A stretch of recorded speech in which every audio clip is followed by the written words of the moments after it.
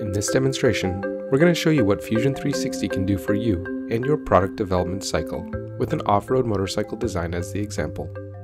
The larger process, that is going from concept to design to manufacturing and beyond, will be represented today with this single part from the system.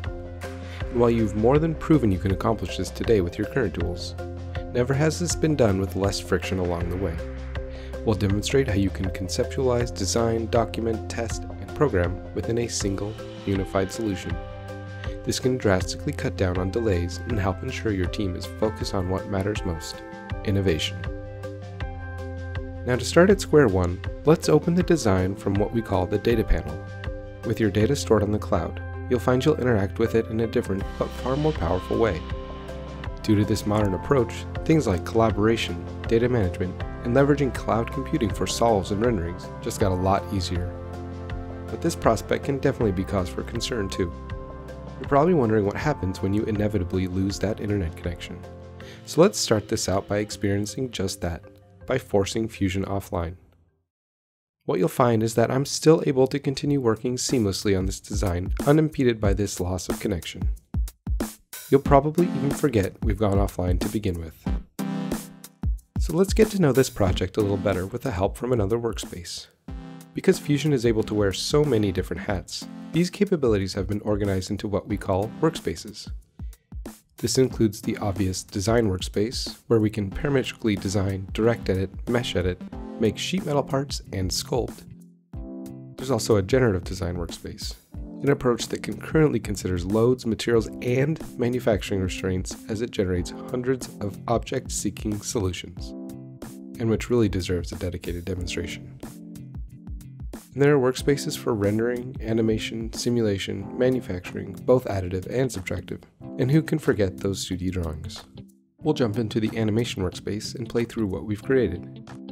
View orientation, visibility, and more will be used to show off the latest generation of our Trail 450. The big change for this year's model is coming in the form of a reworked rear suspension linkage. Shedding away subsystems unaffected by this, will finally draw your attention to where the linkage joint is missing entirely. So to remedy this, we'll jump back into that design workspace and open the rear suspension subassembly. With that said, it's important to mention that there's no such thing as part files or assembly files. You don't need to open a part to add special features, nor do you need to create an assembly to define mechanics. From any design, you can do all of the above, without restrictions. So let's start designing this missing link, right in context to its neighboring parts. To ensure it's properly placed and centered, the first thing we'll do is take advantage of one of our many plane creation tools, with the midplane. From there, let's rough out the shape with a sketch.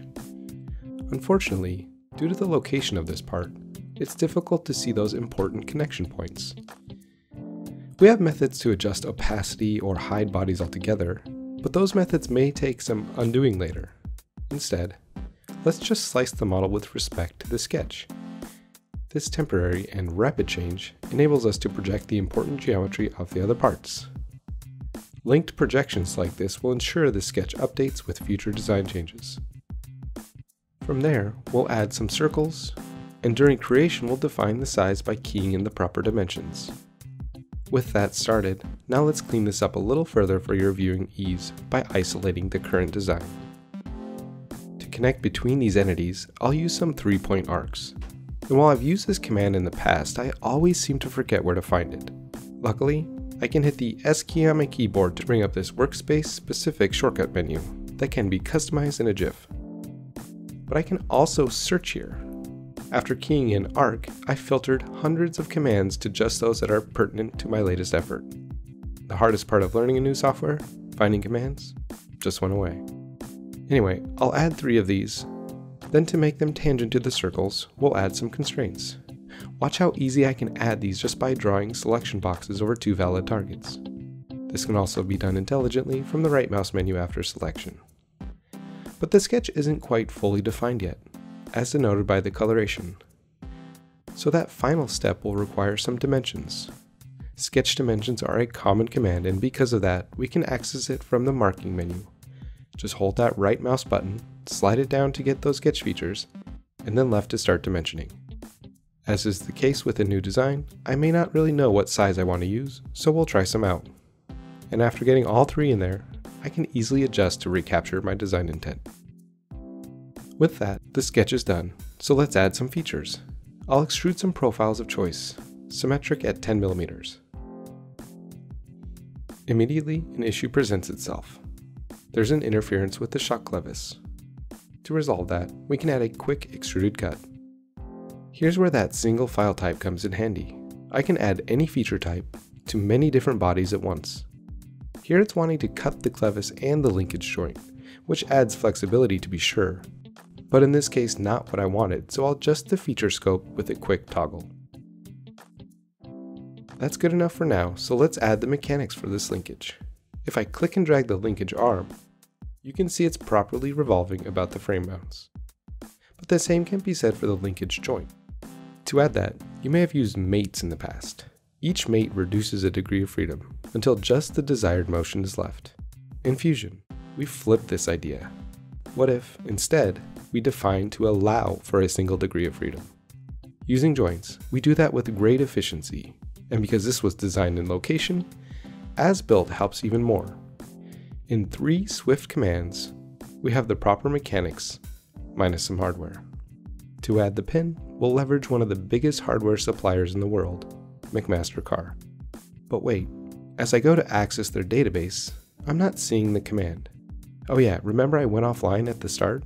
Well, this is the first time we've needed a connection today, but it's a good one. Once online, I go back to insert a McMaster-Carr component. This connects directly to their online database of over half a million parts. You'll find almost every type, size, material, and standard of hardware. I'm looking for a pin with retaining ring, which they make finding so easy. And it gets better. From the details, I can insert the 3D model right into my design. I'll place this with a normal joint, as opposed to the as-built style I used before. This method is still very efficient, only requiring one or two additional clicks. Testing the mechanics, I start to see another issue. That quick extruded cut I made to accommodate the clevis does not allow the full range of motion. This is quickly fixed with the addition of a fillet. To then copy those features to the opposite side, I'll do just that with a mirror. We're at a respectable point now, so let's start to verify the strength and learn where, or if, we can remove unnecessary mass. To vet our designs, look no further than this simulation workspace. Here we can use 8 different finite element analysis simulation types, including nonlinear and dynamic, to digitally prototype, strengthen, and optimize. Before defining the boundary conditions, we'll take advantage of this simplification workspace. In record time, we'll filter this down to just the linkage joint and the connected parts. In addition, we can use this workspace to remove small, unnecessary details that can add solve time with little other benefit. Once simplified, we'll set up the study using standard constraints, pins, and loads. Watch how easy it is to alter the direction and magnitude of this load. Not in the unit system you prefer? You can change on the fly, or type in the preferred load unit. After a quick material check, we can use a degree of freedom plot to verify everything is properly restrained. Now we're all but ready to solve, which highlights a major advantage of being cloud connected, the ability to cloud solve. With that, we can offload this or any number of simulations to simultaneously solve these in record time, and with no effect to my local system or productivity. Once started, I'll immediately turn my attention to the next task without second thought. The next thing I want to do is start setting up some toolpaths. It might seem early, but this quick check pays dividends when it comes to ensuring manufacturability, for green and veteran designers alike. I'll derive out the linkage joint, which retains its link to the original, but enables processes like these to be completed outside of the original context. In the manufacturing workspace, which covers a wide range of subtractive and additive processes, I'll add just two basic operations, a facing operation and a 3D adaptive clearing. This will give me a rough idea of both machine time, but also lets me know if the geometry I've designed could potentially cause collisions or make programming unnecessarily difficult. Looks like my simulation completed while I was preparing the toolpaths, so let's go see what it says. Seeing all this blue, I get the inclination that this is over-engineered. There are some stress hotspots to note, but generally, this could meet our factor safety requirement of 3 without nearly as much material. To lighten this part, we'll jump back into the design side of things. Project the edge, offset from that, and add a couple circles near the connection points. We'll use that to add a pocket. Even without running a cam simulation, I know these tight corners are impossible to make. So I'll adjust that by adding fillets to match my available tools. And fillet the bottom corners to match my bullnose end mill. Finally, we'll break those edges with a chamfer, and we're ready to mirror again. To save time and keep my timeline nice and concise, I'll opt to avoid adding another mirror feature, and instead reorder these in the timeline then add the latest feature to the original mirror. Let's retest to see how we've affected the simulation results. We'll clone and cloud solve without any other changes needed. And then jump right back into the CAM model to update toolpaths. Due to this being derived out, we'll need to do a quick update. And after I do, the previous toolpaths correctly show as out of date. All that's needed is to start to regenerate. While doing that, Fusion 360 will take full advantage of multi-threading to produce these increasingly complex toolpaths in parallel, something those other products can't do because of their aging architecture. With the toolpaths done generating, let's take the output a step further by interrogating the stock simulation. As we play through the timeline, you might notice a number of red sections. These are bad to have, but great to know about. They represent when a collision will occur, but may be as simple to fix as swapping tools, adjusting pocket depths, or using different work holding. Knowing this up front and adjusting now will keep my team happy by avoiding costly delays and late rework. Back to those other simulation results, we can very quickly get reassurance that the pockets we added did not put this design at risk of failure, at least for this primary load case. To get a better understanding of how this performs against the original benchmark, let's avoid having to jot down the displacements factor of safety and max stresses on a piece of paper. Instead, let's compare these side by side. In the compare mode, you can view four different results all while synchronizing the camera, result type, and max min scaling. In looking at this, any concern that the new pocket will compromise strength have been alleviated. Next, we'll direct our efforts to creating a photorealistic rendering for our marketing teams. Let's update the top level assembly, switch to the rendering workspace, and start letting our creative side loose. Here we can apply realistic textures and materials. We can create custom HDR environments, adjust focal length and depth of field, and of course adjust exposure and lighting with a seemingly endless number of options and emissive materials.